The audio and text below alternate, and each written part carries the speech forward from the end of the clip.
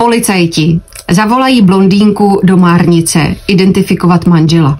Patolog říká, vím, že je to těžké identifikovat manžela, ale nevzpomenete si, neměl třeba nějaké zvláštní znamení?